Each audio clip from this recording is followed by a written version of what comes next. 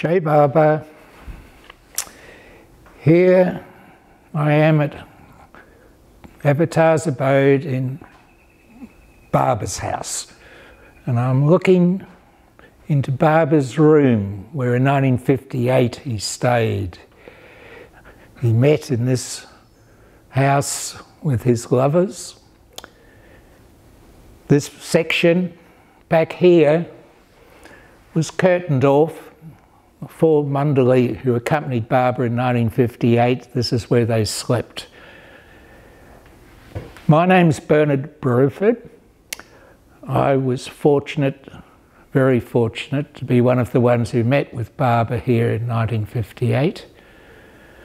And I also met with Baba in 1956 in both Sydney and Melbourne. I've been asked to give this little talk specifically about my reactions and memory of, in 1956, Francis led a group performing before Baba his play, the play he had written called The Quest. And then I thought I'll just enlarge that topic without asking with Michael uh, beforehand. I thought I'd tell the story of how there's been several occasions when I was young, meeting Baba. In 1956, I was 13, two years older in 58, how in retrospect I come to realise, well, I was aware of this over many years, I haven't just recently come to realise how raw and immature I was in my appreciation of the fact that God in human form was amongst us, the very concept of the being God, of God man, of avatar. Yes, I knew the words and I could say that, but I had no appreciation of service to God man or love for God man. They were just parts of my life. And a couple of incidences just made me very aware of just how immature I was. And the first one of these was witnessing the quest. Now, there's some things in one's life, something happens, might be when you heard someone had died or assassinated, something like that, where you can you know exactly where you were and what you were doing. And that's how it was for me with the quest, in that it had been performed by amateurs. Francis, in his performance, and I knew Francis pretty well. He was my godfather. He'd often stayed in the 1940s and 50s in our house in Melbourne.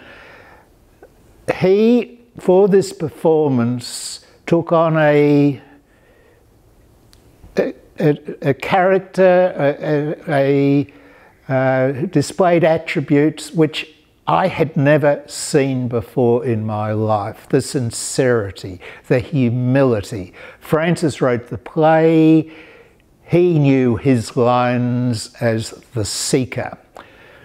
And the, amongst the other performers, there were some very amateurish uh, performances which contrasted so much with Francis.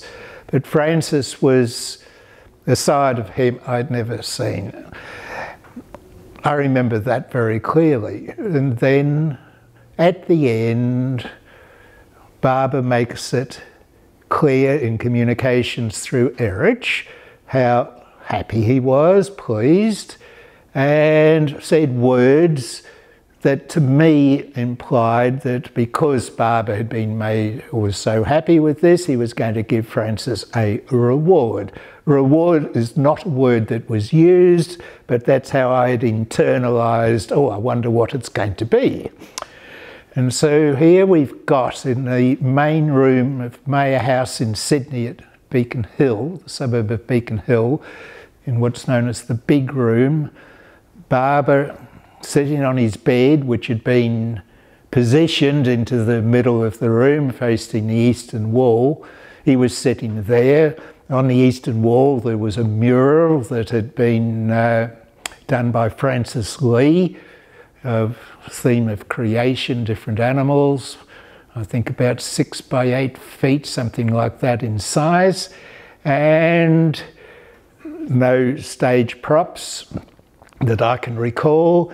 And Francis at the end goes up towards Baba, and Baba, through Eruch's uh, saying words the effect of, This is your reward.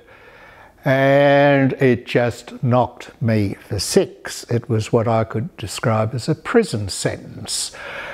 He was to spend four weeks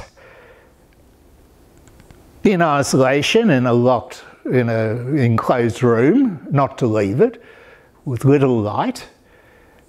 Uh, he was no more than a pint of milk a day, which you could have with tea or coffee. There was to be arrangements for someone to bring the milk and take his toilet away. There were logistics involved there. They, I can't remember if they were all discussed in front of Baba, but he was I'm not quite sure, but uh, like he wasn't to read, but I'm pretty sure one of the instructions was that during his waking hours he was to repeat Baba's name. I'm not 100% positive on that. But this is this is worse than judges giving courts to criminals. Like it was pretty heavy duty stuff, and it knocked me for six. I can remember it all. I can remember where I was sitting like it had such an impact.